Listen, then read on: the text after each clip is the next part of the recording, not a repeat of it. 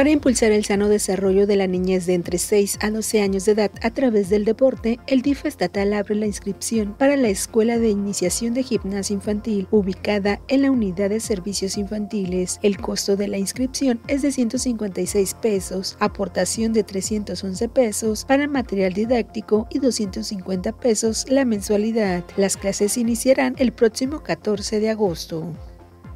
Personal de la Comisión de Derechos Humanos del Estado de Colima recibió la capacitación sobre desarrollo de la justicia impartido por Mara Fernanda Heredia Miranda, acción que forma parte del programa interno de capacitación que implementa la Secretaría Ejecutiva del órgano defensor con el fin de evitar accidentes y procurar una movilidad más segura para automovilistas y transeúntes. En esta temporada de lluvias, personal de la Dirección de Parques y Jardines realiza brigadas especiales en áreas verdes de la colonia Terraplena, Las Perlas 2 y en el Boulevard Miguel de la Madrid en Las Brisas. La presidenta municipal de Colima, Margarita Moreno, dio a conocer que con la repavimentación de la avenida Felipe Sevilla del Río y avenida Tecnológico, se beneficia a los comercios locales de esta zona comercial, así como a miles de familias que transitan todos los días.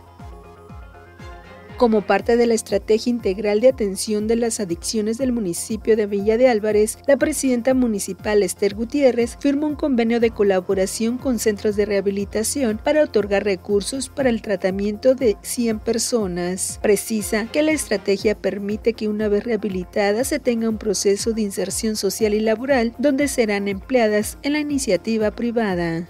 Rosalba Venancio, Mega Noticias.